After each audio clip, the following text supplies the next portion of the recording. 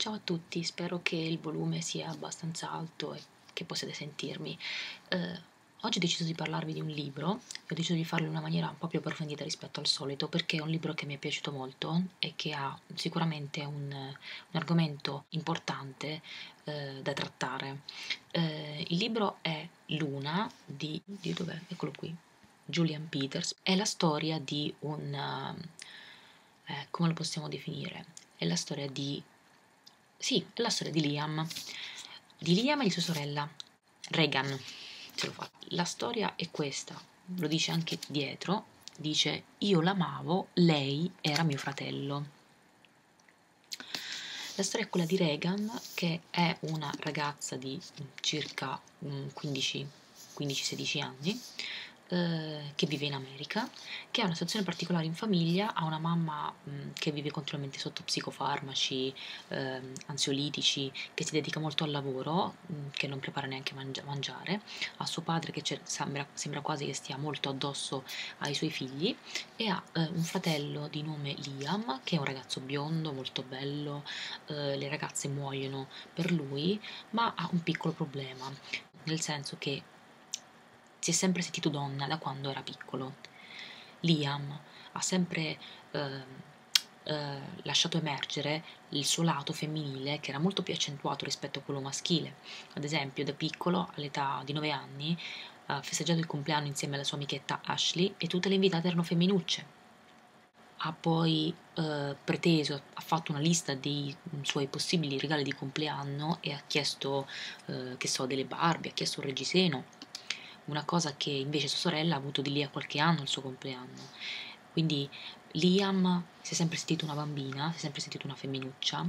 Uh, mm, non entro adesso nei particolari perché svelerei delle parti del libro che sono davvero toccanti, molto importanti, e quindi la sua identità è stata sempre prevaricata da quella che era la sua apparenza, cioè il suo corpo. Questo, questo ragazzo uh, vive in un corpo che lui non vuole, e molto spesso nella società persone di questo tipo sono additate come omosessuali, eh, come eh, gay, quando in realtà pare che, almeno mi sono informata su Wikipedia, quando in realtà è sotto la forma di mh, transgender, eh, si riuniscono sotto il nome di transgender queste persone che non riconoscono il fatto che i sessi siano semplicemente due, cioè maschio e femmina, ma ammettono anche il, eh, i, i, gay, le lesbiche e tutti coloro i quali si trovano in una situazione come quella di Liam, cioè a nascere in un corpo che non corrisponde alla propria identità di genere. Credo che si chiami disforia. È una storia che ha, mh, mm, è se vogliamo, simile come argomento a quella che trattava invece Middlesex di um, Eugenides, Jeffrey Eugenides, che è un libro che ho amato moltissimo.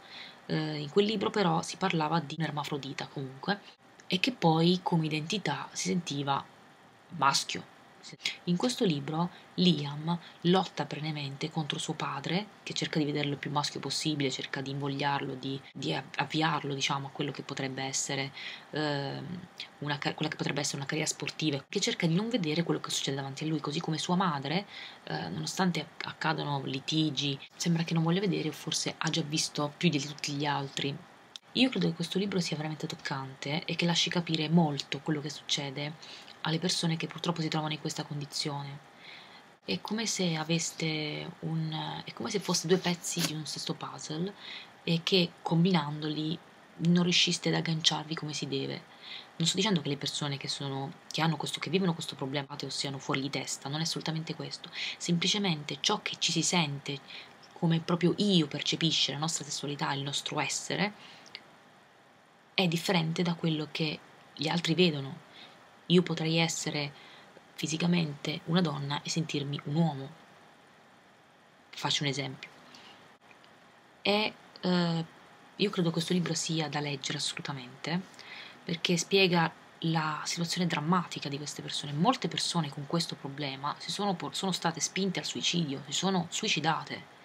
Questo libro è commovente, è delicato, eh, sensibile è davvero molto bello, che spiega anche come sia difficile per chi circonda, per chi vive accanto a queste persone, riuscire ad aiutarle, riuscire a comprenderle, perché non è facile, perché viviamo in una società che impone determinate cose, determinati punti di vista. E perfino per le persone che vivono intorno a chi vive questo tipo di problema, io oserei dire questo tipo di dramma, non è facile venirne fuori, non è facile affrontare le cose mh, mm, pensando a quello che è il meglio per questa persona cara che vive questo problema. Come questo vi consiglio come argomento da approfondire se volete un libro, un film che si chiama Transamerica, che è uscito qualche anno fa, forse nel 2004, tra il 2003 e il 2005, non mi ricordo per maniera esatta, che è la storia di una trans. Si definiscono eh, una trans o un trans se nel passaggio il sesso di arrivo è femminile si dice una trans, se nel passaggio, nella fase transitoria, il sesso di arrivo è maschile si dice un trans.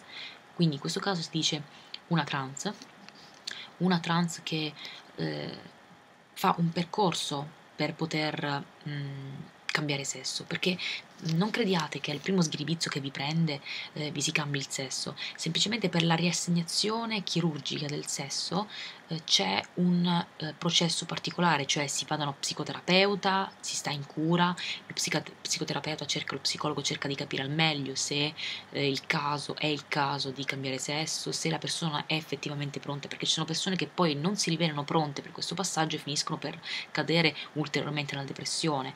Quindi racconta la storia di questa, mh, di questa trans, mh, che tra l'altro è interpretata in maniera magistrale da questa attrice, da come faccia il passaggio, da come tutta la sua vita verta intorno alla modulazione della voce, uh, ai modi. Ed è davvero, uh, come dire, è, davvero carino, è davvero grazioso il modo che hanno sia Liam che la protagonista di questo film di cui sto facendo l'esempio, Transamerica, il modo che hanno di...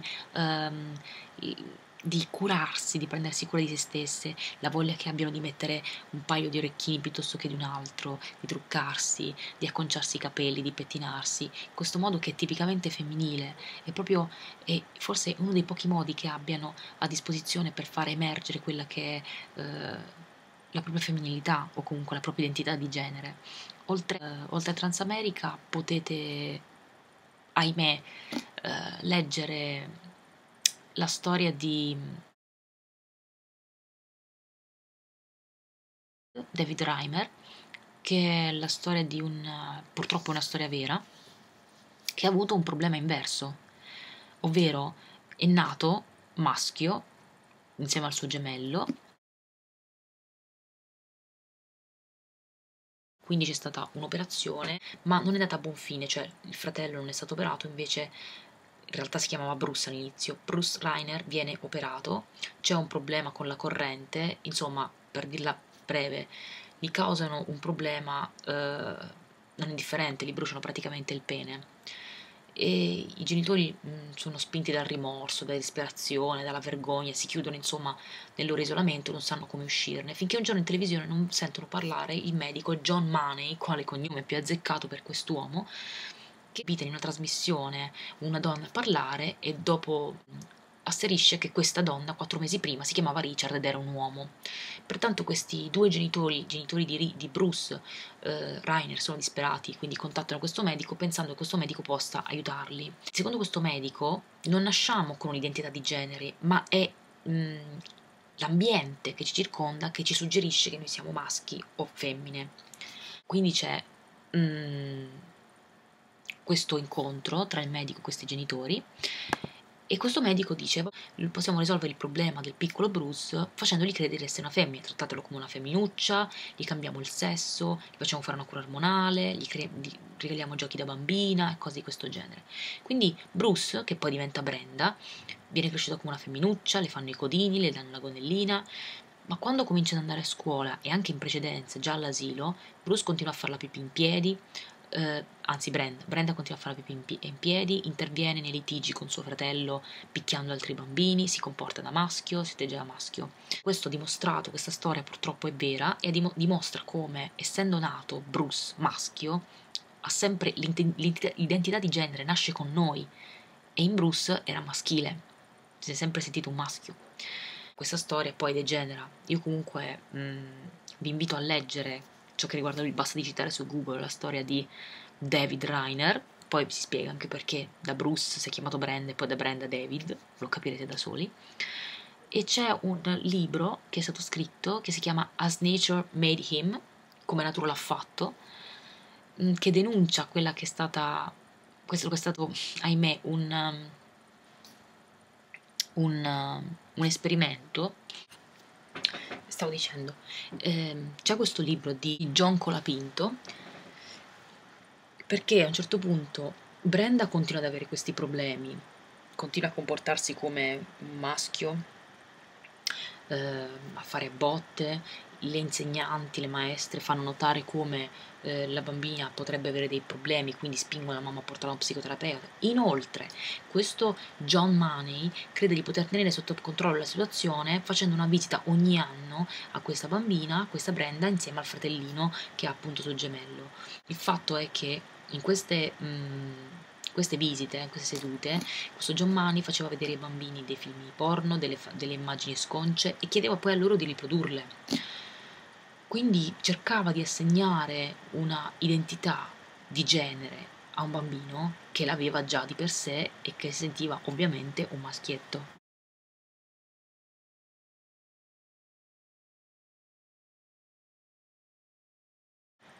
Allora, la storia di David Reimer dimostra come vivere in un corpo che non corrisponde alla propria identità di genere è terrificante.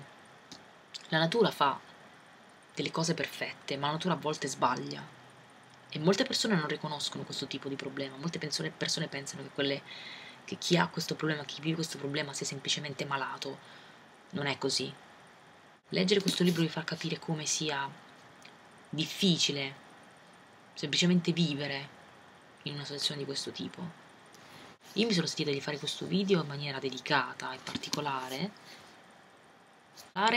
perché um, Luna è davvero un libro straordinario 14,50€ per chi non volesse acquistarlo mh, mm, nuovo potrebbe trovarlo anche di seconda mano su alcuni siti come il Libraccio, visto che costa 7,25€. Questa storia è straordinaria, è scritta in una maniera delicata, eh, graziosa e dimostra eh, è anche divertente in certi punti perché ovviamente la storia è raccontata da Regan, la sorella di Liam, loro hanno un rapporto molto particolare.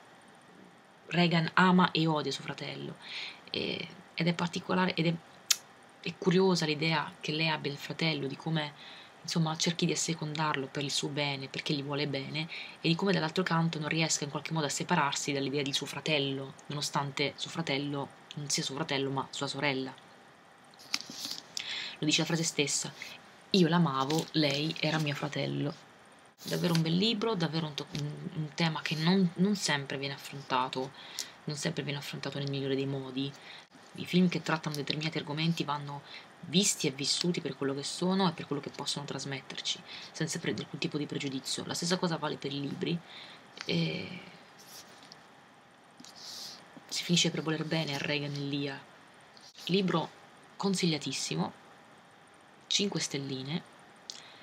Se avete voglia di fare un salto nella quotidianità di chi ha di chi si trova purtroppo a vivere in un corpo che non corrisponde alla propria identità di genere, chi non riesce ad esprimersi nonostante, eh, una, nonostante una prorompente femminilità e che debba comunque lottare contro l'aspetto maschile che le è stato assegnato dalla natura beffarda, dovete leggere Luna. Niente di sconcio. Yeah. Mm, spero in questo modo di avervi messo curiosità sull'argomento. Vi metterò tutti i link ovviamente nel box che dire. Alla prossima.